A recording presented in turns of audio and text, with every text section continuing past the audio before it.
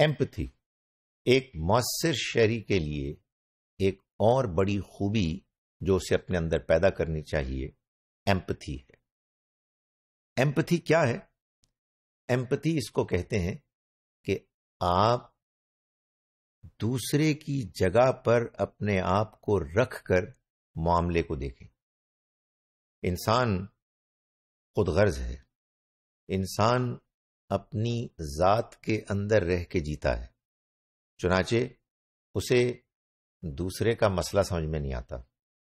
दूसरे की परेशानी खुद उसकी परेशानी नहीं बनती, जिसके नतीजे में इंसान के अंदर एहसास या तो कमज़ोर होता है या होता ही नहीं है। एम्पथी अगर किसी इंसान का शख्सियत का हिस्सा बन जाए और वो अपने अंदर ये खूबी पैदा कर ले कि वो दूसरों की प्रॉब्लम्स को ऐसे देखेगा, जैसे कि वो खुद उसकी प्रॉब्लम्स हैं। तो उसके बाद उसके अंदर दूसरों की मदद, हमदर्दी का जो जज्बा पैदा होगा, वो गैर मामूली भी होगा और वो जेनुअन भी होगा, उसके अंदर खुलूस होगा। A person with empathy genuinely feels for others इसमें कोई शुभ ही नहीं है कि एक शख्स तकलीफ़ में है, ऐसी तकलीफ़ में कि जिस तकलीफ़ में कभी आप भी मुबतला रहे थे, आपको मालूम होगा कि उसकी तकलीफ़ क्या तकलीफ़ है। इसलिए कि किसी की तकलीफ़, किसी की परेशानी, किसी के मसले को सुनकर एक तो सरसरी तौर पर एक इंसान तबसरा करता है कुछ ना कुछ उसको ख्याल भी होता है कि वाकई एक मुश्किल चीज़ है, एक मसला है। लेकिन वो बड़ा सथी, वो बड़ा सरसरी सा इंसान का एहसास होता है।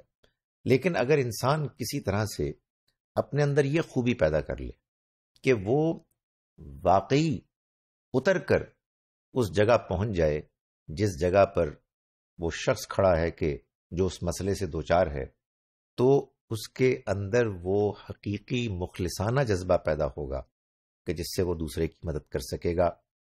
हर इंसान को चाहिए कि वो अपने अंदर ज़्यादा से ज़्यादा एम्पथी, ये खूबी पैदा करे। ये खूबी कैसे पैदा हो? हकीकत यह है कि एम्पथी पैदा करना को बहुत मुश्किल काम नहीं है। असल में क्या होता है? हम अपनी दुनिया में अपने मामलात में इतने उलझे हुए होते हैं कि हम दूसरे के मसले का एहसास नहीं कर पाते। एक तो सबसे ज़्यादा मौसर तरीका यह है एम्पथाइज करने का कि आदमी ये सोचे कि मेरे साथ भी तो ये मामला हुए थे ना। तो जब मेरे साथ ये मामला हुआ था तो मैं कितना परेशान था। तो आप अपने माजी को टटोलें और उस तरह के किसी मसले के बारे में सोचें कि जिस मसले से आज कोई और शख्स दो चार है तो आपको एहसास होगा कि ये आ, मसला कितना बड़ा मसला है। इंसान इससे दो चार होता है तो कितना परेशान होता है। दूसरा तरीका ये है कि इंसान महज खबर को ना सुने बल्कि जाए और खुद से देखे कि मामला क्या है। ये हकीकत है कि हम किसी वाक़े की खबर सुनते हैं तो उससे हम पर उतना असर नहीं होता कि जितना वाक़े की जो सूरत हाल है, जो वकुआ है, जो जगह है जहाँ ये हुआ, उसको आप जाके जब उसका मुशाहिदा करते हैं तो आपको महसूस होता है कि मामला वाकई ऐसा है कि जिसमें इंसान को संजीदा होना है उसको परेशान होना है, उस मसले को हल करना है। अब तीसरी चीज़ जो बड़ी अहम है वो उन लोगों के साथ कि जिन पर ये मुश्किल बीत रही है, उनसे बातचीत करना, उनको सुनना, उनके मामलात को ऐसी निगाह से देखना कि गोया कि वो आपके अपने मामलात हैं। इंसान जब एम्पथाइज करता है तो इंसान खुद गर्जी से बचता है। इंसान मुआशरे का एक हसास हिस्सा बनता है और एक मौसर शहरी बनता है।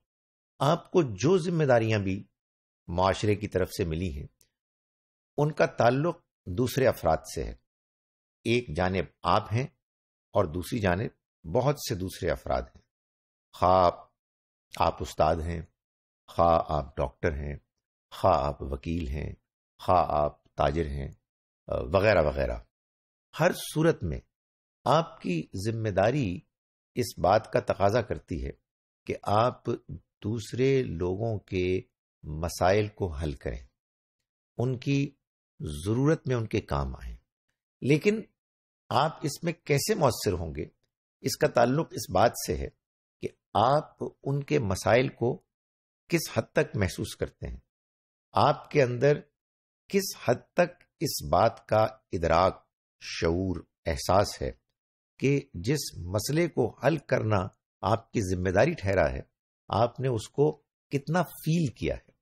ये आपके अंदर पैदा होगा ये ये ये जज्बा ये एहसास जब आप एम्पथाइज करेंगे और एम्पथाइज करने में आ, मैंने गुजारिश की कि इंसान को ज़रा तवज्जो की ज़रूरत है ज़रा इकदाम की ज़रूरत है ज़रा कोशिश की ज़रूरत है।